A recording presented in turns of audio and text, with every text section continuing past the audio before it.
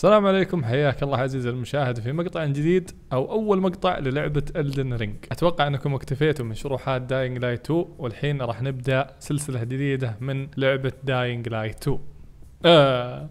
لا توني يا حبيبي من لعبة Elden Ring في شغلات مهمة في بداية اللعبة مهم إنك تعرفها راح نتكلم عليها في هذا المقطع خصوصا إذا كنت أول لعبة تلعبها من ألعاب ال Souls طبعا عندك راح تكون عشر كلاسات تختار من بينها وكل class يتميز بإيجابيات وسلبيات ومميزات يقدر يختارها من أسلحة معينة أو من تعويذات وسحر وغيره. ومن خلال هذا المقطع بإذن الله راح تتعرف على مميزات كل class لأنك ببساطة إذا اخترت ال class الخطأ راح تصعب على نفسك اللعبة على الفاضي. أو بالأحرى راح تضيع نقاطك آه، أو نقاط التطوير في شغلات ما لها داعي كان من البداية يمكن أنك تأخذها بشخصية ثانية. لأن كل شخصية قوية في بعض الأمور وضعيفة في بعض النواحي الثانية فضروري أنك تختار أقرب شيء إلى لعبك أو الأنسب إلى لعبك. ما لها داعي تأخذ شخصية ساحر وأنت تريد تلعب بال long sword وتجلس تستخدم نقاط التطوير في آه، تطوير القوة عشان تقدر تحمل السيوف الثقيلة. بينما أنت في البداية كان بإمكانك أنك تختار ال character المناسب هذا السيوف الثقيلة أو الأسلحة الثقيلة وتوفر على نفسك برضو آه، آه، نقاط التطوير إنك تستخدمها وتطور الميزة هذه بشكل أكبر وتوصلها إلى ال 50 مثلا. لأنها معروفة ألعاب ال Souls بأن كل شخص يبدأ اللعبه وفي راسه build معين وده يسويه من خلال تجربته لهذا الجزء. وفي ناس يختمونها ب build معين ويرجعون يختمونها ب build معين وكذا وشخصية ثانية. طبعا موضوع الشخصيات مهم إني أقول آه يمديك إنك تغير الشخصية يعني مش لازم إن الشخصية الشخصيه اللي بديت فيها تنهي فيها التختيم. لا تقدر تغير في أثناء اللعب. يعني آه، تقدر تغير الكلاس بعدين تختار الأنسب لك وتخليه يخدمك بتطوير حاجات معينة للبلد حقك. وهذا راح يفرق معك كثير في بداية اللعبة وراح تشوفون بعد شوي ليش. لكن ضروري إنك من البداية تختصر على نفسك هذا المشوار كله وتحاول تشوف تركيزك في اللعبة بيكون إيش. طبعا الكلاسات هم عددهم عشرة ولكن إذا ركزت فيهم العشرة هذول وحطيتهم قدامك راح تشوف إن في تشابه آه، بين هذا ال class وهذا ال class ويتميز آه، ميزة هذا ال class يعني تختلف شوية مع ميزة هذا السلاح كذا. فعشان تسهل على نفسك العشر class ات هذه تقدر تحطها في أربع فئات. فئة مثلا عندك ال physical أو القتالية وعندك آه، فئة ال magic وعندك فئة ال holy وعندك فئة ال hybrid. ال hybrid يعني مكس هجينة بين آه، عصير كوكتيل يعني كذا بينهم كلهم. فيعني إذا ما كنت مثلا لا آه، ودك تستكشف أنا والله مش عارف وش ألعب أركز على ال magic ولا أركب أركز على السيف. فيمديك تختار هذه ال class ات الهجينة وبعدين تقرر بحيث إنها ما تأثر عليك يعني سلبا إنها تكون مركزة في شيء ضد الشيء اللي أنت ودك تجربه. فيكون كل شيء متوازن نوعا ما وتقدر آه، تختار الشخصية الأنسب لك بعدين. مثلا تقول بجرب السيف مع شوية تعويذات وبعدين بشوف ميولي أكثر في إيش فهذه الفئة تناسبك أكثر. طيب الحين ملخص الموضوع إن فيها عشر شخصيات تندرج تحت أربع فئات القتالية وال magic وال holy وعندك ال hybrid اللي هو متنوع بين الثلاثة بين الكل. عرفنا الفئات لكن الحين يوم نيجي نمسك الشخصيات لو استعرضنا الشخصيات الحين على السريع كل شخصية لها ستات معين أو إحصائيات هذا الستات عندك ثمان شغلات أساسية في كل شخصية.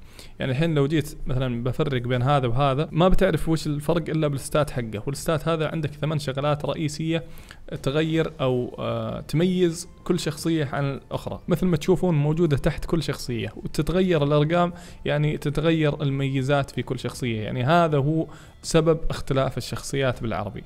أول شيء عندك ال vigor ثم ال mind وال endurance وال strength وال dex أو ال dexterity وال intelligence أو ال faith وال arcane ال vigor تعني القوة أو الحيوية أو النشاط أو الدم أو ال HP أو ال health سمها باللي تسميها. كل ما كان أكبر أو كل ما كان الرقم هذا أكبر يعني عداد ال health بيكون عندك أكبر وما راح تموت بسرعة. بالإضافة إن ال vigor هذا لو زاد بتكون عندك حماية ضد السموم والنيران. الشغلة الثانية اللي هي ال mind أهميته يعني مثله مثل ال health وال stamina. وبرضه يزيد عندك عداد السحر ويقاوم التنويم. نيجي للشغلة الثالثة اللي هي ال endurance ال endurance يعني قدرة التحمل. هذه ثلاث شغلات الرئيسية اللي تكون شخصيتك يعني ك كيف أقول لك ك health يعني لسه تتكلم عن الشخصيه ما تتكلم عن قدرتها عن تحمل الأسلحة أو نوع السلاح أو السحر وكذا. ما ما تفصلنا في هذه الأمور. ما زلنا نتكلم هذه الثلاث شغلات الرئيسية اللي تكون الشخصية. فال endurance مثل ما قلنا قدرة التحمل آه، بشكل أساسي ويساعدك بعد في صد الهجمات الجسدية. ال strength أتوقع هذه أوضح واحدة فيهم تعني القوة بحيث أن ال damage تبعك يكون أقوى. بالإضافة إلى أن تكون عندك ميزة الحصول على معدات أفضل من الأسلحة والدروع الثقيلة. الأسلحة الثقيلة والدروع الثقيلة. هذا ال strength كل ما زاد كل ما بتكون عندك الإمكانية إنك تاخذ الأسلحة الكبيرة. ففي بعض الأسلحة آه، ما تقدر يعني تاخذها غير إنه يكون عندك ال strength عالي بحيث إنك تقدر تلعب فيها. نفس الشيء موضوع ال dexterity أو ال dex اختصارها. هذه معناتها البراعة. وال dex يعني آه تدور حول موضوع الأسلحة الخفيفة وغير الأسلحة الخفيفة. يعني النفس ما تقول تقدر تقول عكس ال strength. إذا كان عندك ال dex عالي راح يكون تركيزك على الأسلحة الخفيفة. وإذا كان ال strength عندك عالي يعني تركيزه عن الأسلحة الثقيلة وكذا.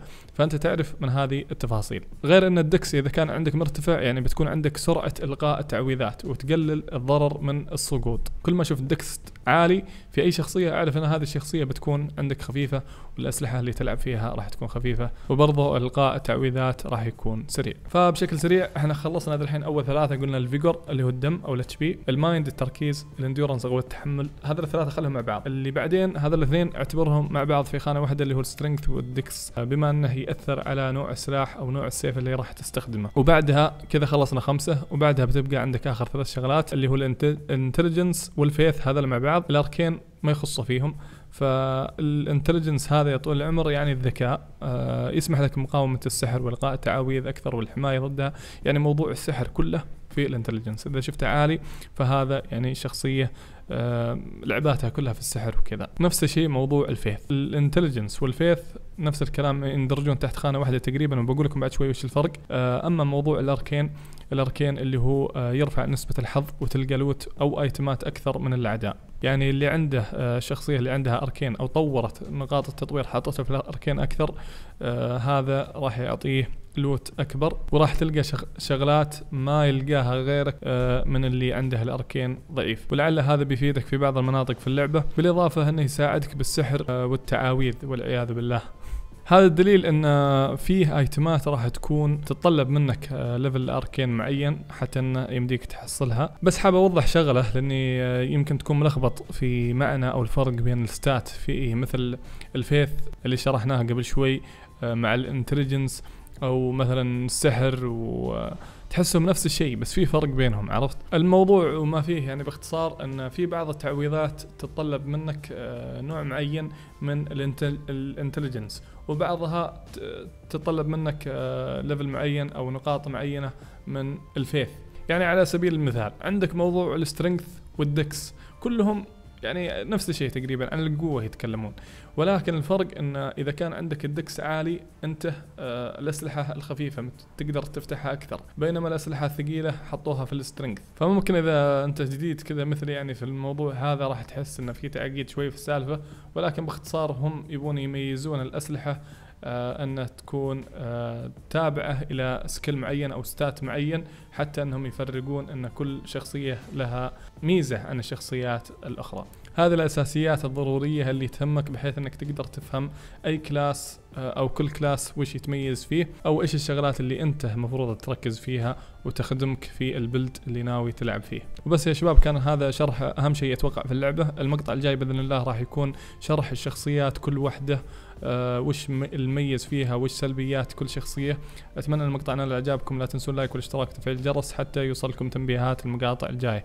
اشوفكم شاء الله على خير في مقطع جاي جاي. نشوفكم إن شاء الله على خير في مقطع جاي. والسلام عليكم ورحمة الله وبركاته.